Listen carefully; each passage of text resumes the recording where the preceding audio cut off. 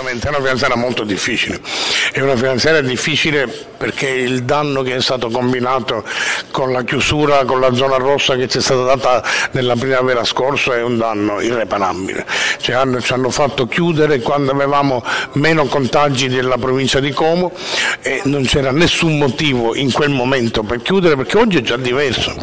Ma quando abbiamo chiuso nella primavera passata, abbiamo ucciso la nostra economia e quindi quello è stato veramente il grande, il grande, disastro, è stato quello. 11 punti percentuali in meno di PIL vuol dire che questa regione ha prodotto fatturato, quattrini materialmente, per circa 9 miliardi in meno di quanto era previsto che facesse, perché a parità di PIL saremmo andati a parità di, di fatturato. Oggi ne abbiamo 9 miliardi in meno, 9 miliardi di produttività in meno significa che ogni negozio ha perso il 30, il 40, il 50% del proprio fatturato, che nelle casse della regione ovviamente non sono entrate tasse, perché non essendoci fatturato non, pagato, non sono pagate le imposte. Quindi un dramma pazzesco, cioè nel momento in cui tutte le imprese hanno dovuto cedere a, a una follia questa della chiusura che è stata fatta. Nel momento in cui avrebbero avuto maggior bisogno di aiuto, la Regione si è ritrovata con le casse totalmente vuote perché non ci sono state le imposte. Quindi è evidente che il danno è stato colossale.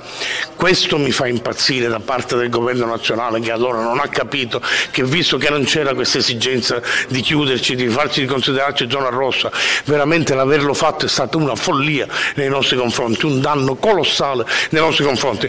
Oggi in più non sono neanche tanto leali nel comportamento con la Sicilia perché poi pretendono non si capisce che cosa invece che darci una mano, per cui è una finanziaria difficile che non ha soldi, che prevede tante norme di tipo regolamentare sperando che si possa semplificare la vita amministrativa dei cittadini e di tutte le imprese siciliane, ma soldi ce n'è poco e in ogni caso ci sono quelli che aspettiamo che arrivino dallo Stato o dall'Europa.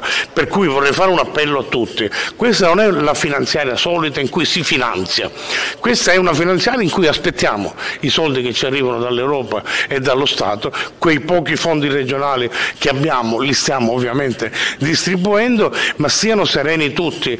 Vedo, vedo categorie che si sono un po' depresse perché un articolo è stato accantonato. Accantonato significa mettere, eh, rivedere, da, un articolo da rivedere perché magari andava cambiata qualche cosa. Non ci devono essere terrorismi, vi prego, perché la gente non sta bene, la gente è già scoraggiata di suo, se anche i nostri opinion leader, chiamiamoli così, cioè i responsabili delle categorie e de della politica, eh, fanno, fanno eh, eh, spaventare di più, la gente finirà con, col mollare. Finirà col mollare.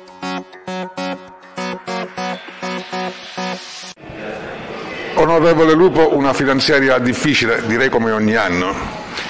Una finanziaria direi inutile, che non affronta i problemi del, veri dell'economia siciliana, che non va incontro alle reali esigenze delle imprese dei lavoratori in questo momento terribile di pandemia.